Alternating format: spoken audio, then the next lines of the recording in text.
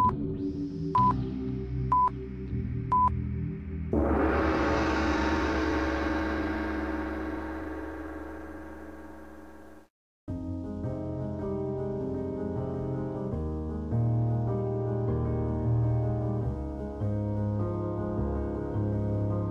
Ноябре 1941 года, когда судьба советской столицы висела на волоске, всего через 11 дней после знаменитого парада на Красной площади, советским правительством было принято решение о строительстве в Рубцовске тракторного завода.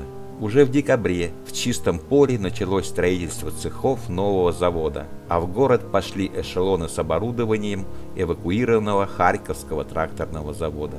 Августе 1942 года первый алтайский трактор сошел с конвейера. Это был титанический труд, достойный преклонения. Так началась славная история Алтайского тракторного завода. Первоначально в Рубцовске выпускались тракторы АСХТЗ «Нати», которые в годы войны использовались как артиллерийские тягачи. Мощности завода позволяли выпускать 2-3 трактора в сутки, что в тех условиях, безусловно, являлось подвигом.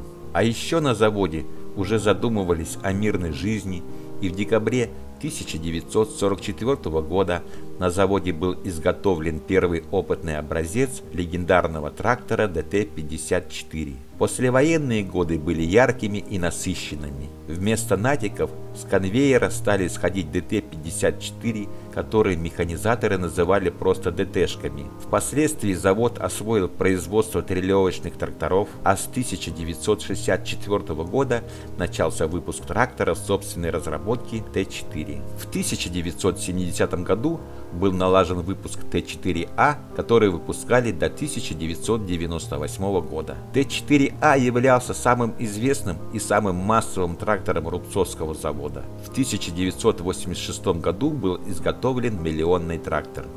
В середине 80-х стало известно, что Рубцовский завод планирует начать выпуск более мощного гусеничного трактора по тяговому классу, сравнимого с трактором К-700. Этот трактор должен был именоваться Т-250. Но уже началась перестройка, ставшая для АТЗ приговором. Начало, положенное в 1985 году, привело к тому, что в 2011-2013 году завод прекратил свое существование. А недавно мне на глаза попалась публикация о тракторе Алтай-130. Публикация была от 2018 года и в ней рассказывалось о тракторе А-130, который должен стать достойной заменой легендарного Т-4А. Вот что говорилось в статье. Алтай-130 пришел на смену одному из самых массовых и популярных тракторов советской эпохи Т-4. Новая машина, так же как ее легендарный предшественник, является сельскохозяйственным трактором общего назначения четвертого тягового класса.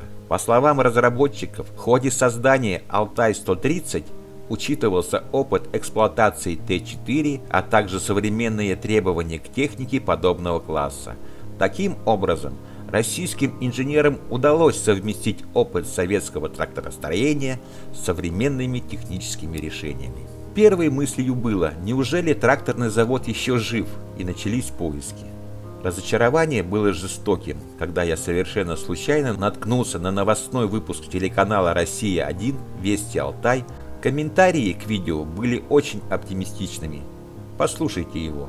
Тракторный завод в Рубцовске, конечно, погиб, но сам алтайский трактор жив. На этих кадрах Алтай-130, преемник легендарных рубцовских ДТ-54 и Т-4, но с другим двигателем, мягкой подвеской и комфортной кабиной. Это совсем не чудо. В СССР выпуск сельхозмашин по лицензии был налажен в Китае. Из Поднебесной в Рубцовск вернулся продукт глубокой модернизации советской тракторной классики. Завод «Алтай-трактор» выкупил площадку опытного производства Алтайского тракторного завода и заявляет, что готов на ней выпускать до полутысячи тракторов в год, если крестьяне остановят свой выбор на хорошо знакомых гусеничных машинах из Рубцовска. И стало горько и обидно. Вот китайцы-то смеются над нами. Когда-то советские специалисты обучали китайцев, помогали им создавать собственную промышленность и строить предприятия, в том числе тракторные заводы. За прошедшие годы китайцы, учтя свои прошлые ошибки различных культурных революций, сделали громадный рывок в экономике. А мы, рванув вперед, сделали громадный прыжок назад и теперь в Рубцовске пытаются наладить отверточное производство китайских тракторов, в облике которых угадывается, по крайней мере в ходовой, советский трактор ДТ-54. Это ли не позор? Посмотрите на этот трактор. В общем-то, Ничего необычное для нашего времени. Ходовка, как у тракторов семейства ДТ, рулевое управление вместо рычагов. Это, конечно, интересно, но это не наш трактор, это китайский. Я, конечно, допускаю, что там были какие-то изменения под российские реалии российскими инженерами, и все равно это китайский трактор с немецко-китайским двигателем. Не позорно ли, собирая китайский трактор, говорить, что это преемник рубцовских тракторов? Не позорно ли это для российского тракторостроения, заложившего основу китайского, а теперь занимающегося отверточной сборкой комплектующих, поступивших из Китая? Конечно, завод Алтай Трактор здесь совершенно ни при чем. Просто вспоминаются слова легендарного Верещагина «Мне за державу обидно».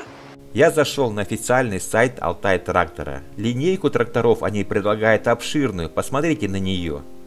Богатый ассортимент на любой вкус, и это еще не все. Видел на одном из ресурсов цену на трактор А130. Она составляет 3,5 миллионов рублей. Меня гложет глубокие сомнения, что даже если завод и выпускает эти тракторы, то вряд ли они пользуются большим спросом. А потом у меня возникло желание посмотреть на бывший АТЗ из космоса. Конечно же вы поняли, что это был Google Maps. Я никогда не был в Рубцовске и даже не представлял, где находится тракторный завод. И поверьте, на спутниковом снимке я нашел его без труда. Сверху казалось, что на завод упала атомная бомба или он подвергался ковровой бомбардировке.